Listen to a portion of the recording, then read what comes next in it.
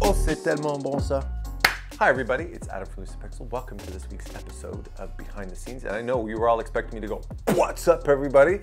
I would never do that. I would never step on the feet of my fellow Canadian, especially somebody who I love so much. With that said, before I move forward, I want to make a little announcement, and that's the fact that over the summer months, uh, I'm going to be switching up the uh, the schedule for behind the scenes to every two weeks. So every two Mondays instead of every one week, because I have events coming up and big projects and stuff, and this is just going to make everything a little bit more manageable. So effective today, June 4th, 2018, our next episode isn't going to be until two weeks from today, and every two weeks after that, until things change, I'll let you know. All right. Today I want to talk about something that what at the beginning of my career thought was a symptom of the fact that I just sucked as a human being, and that was demotivation.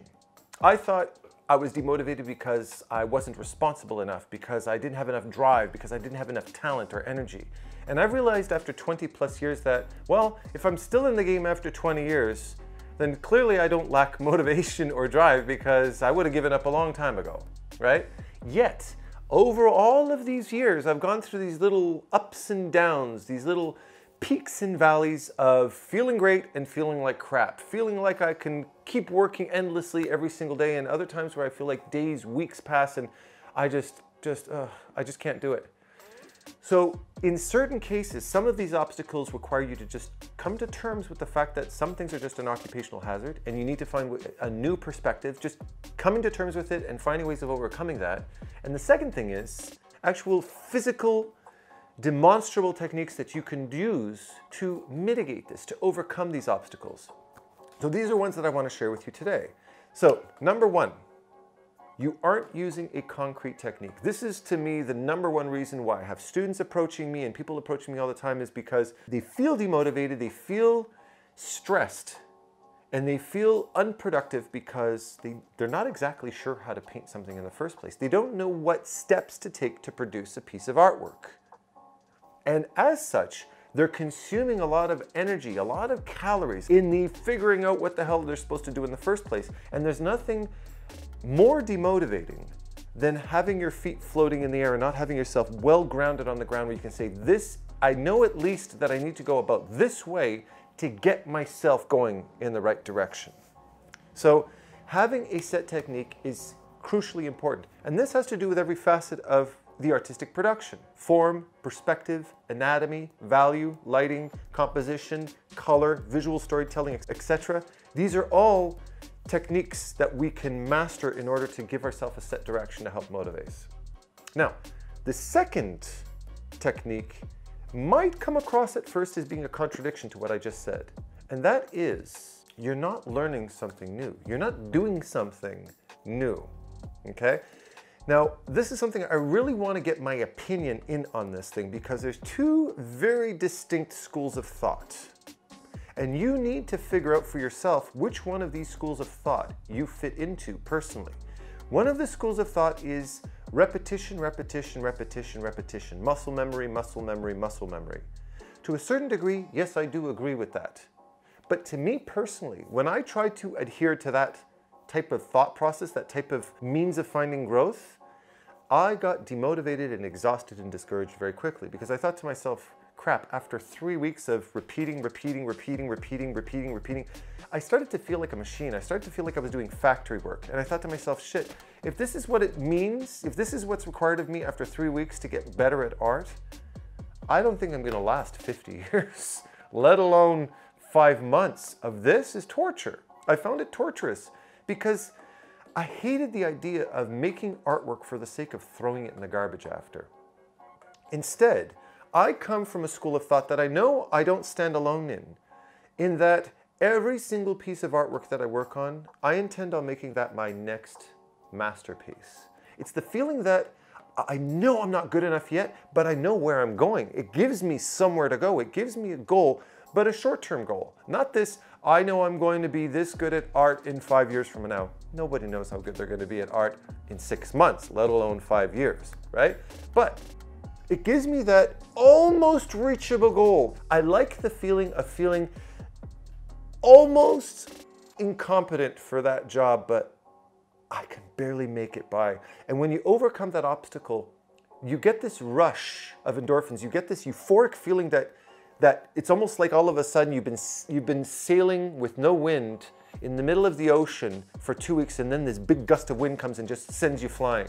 And I like that feeling because it drives you, it pushes you, and it gives you the sense of accomplishment. And furthermore, what you accomplish is something you want to keep. I don't have a single painting I've worked on over the last 10 years that I don't still own. I haven't discarded anything. Nothing's sitting in my work pile. Everything is sitting in my painting pile. Of course, I can look back at paintings I did 10 years and go, whoa, wow, I can do that a lot better today. Everything was a work from the heart. Nothing was just made for the sake of practice. I don't believe in that. I always believe in setting the bar a little bit out of your reach every single time you sit down to new, new work of art. And that might be a very big factor in your motivation. Another big one is too many options and not enough action.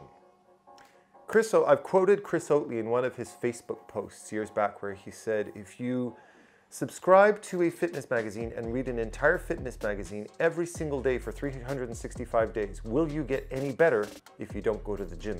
The answer is no. You have to work out, right? It's not about how much information you're packing into your brain, it's what you're actually doing with that information. And what I used to do, just like you, I'd go out and I'd spend like a hundred bucks on Gumroads and tutorials and books and all this shit. They all sat around and collected dust for years and years and years until maybe years later, maybe I grabbed it off the shelf and picked it up and went, oh, that's interesting. But most of them just collected dust. Instead, what I've learned to do is set a goal for myself. I want to achieve this in my painting, and then going out and seeking out one piece of information, one goal, one lesson, one form of growth. Not 50, but one. But with that one, I work it and work it and work it and work it and work it, work until I find growth from it. Because growth doesn't come from packing your head full of tons of information. Growth comes from mastering a single principle and finding that growth from that single principle. And then when you're when you've exsanguinated that for as much as you can, you grab the next one and you work on that one. And you only take on one lesson at a time. You don't take on 50 at a time. Have you ever struggled to find color harmony in your paintings? Probably because you have a Photoshop color wheel sitting there with 12.6 million options. That's not going to motivate you, that's going to demotivate you. Instead, just grab yellow and green that day and see what you can do with those two colors. Or go for something a little bit more analogous. Go orangey yellow versus greeny yellow and see what you can do within that range of color. Just playing with the value and saturation of those colors and see what you can do with those two colors. I guarantee you, you're gonna find more motivation and more growth and you're gonna start to understand color a whole lot better that way. So reducing your options is usually the way to go. Now the last one, and I think this is probably the biggest one of all, and this is something that plagued me throughout my entire career. I was somebody who grew up loving to play video games. I liked going out. I liked dancing. I liked sitting around and scratching my butt once in a while. And especially earlier on in my career, before I started getting any kind of feedback from the industry where I was, you know, where I was being recognized for my work, or I was being hired or paid for my work. And even throughout my career, even when I started to find success and then I got, then I failed or I got a great job and it was a dream job and then I got sacked from that job because I was, I sucked too much to maintain that job or maybe I wasn't productive enough with my time. All of these things started to accumulate in me and started to diminish my feeling of self-worth. I started to feel extremely guilty for not being as motivated, as ambitious, as responsible, as all of my counterparts because everybody else in the world was so much more perfect and beautiful and responsible than I was. And I felt guilty. And that guilt stressed me out.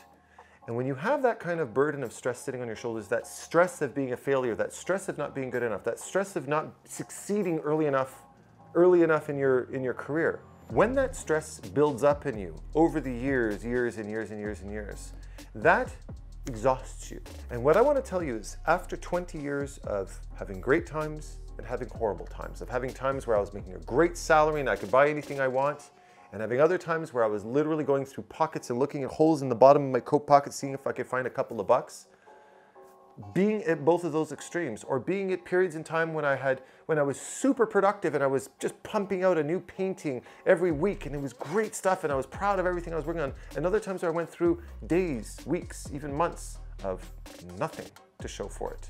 I have experienced both of those in equal abundance. 20 plus years later, sitting here in front of you right now, I can tell you that it doesn't matter what you've been through. It doesn't matter if you're 85 and you still haven't managed to get your career off the ground, or if you're 22 and you're a huge success. It doesn't matter if you've been super responsible with every moment of every day that you've ever had, or sometimes you've wasted time. It doesn't matter. What matters is that you love what you do, that you keep moving forward, and you keep making your best effort. And if you have shitty days, have some compassion for yourself. It's fine. Maybe that video game was super awesome and fun and it pulled you away from your responsibilities for a couple of weeks, but then you came back. Because that added stress of being a failure, that added stress of not being good enough, which is what's going to contribute to you not finding the same growth you could have if you just relaxed and said, yeah, I had a couple of shitty weeks, but it's fine. All right? So, hopefully you've enjoyed this week's episode of Behind the Scenes. Remember, I have another one coming out in two weeks. So, every two Mondays.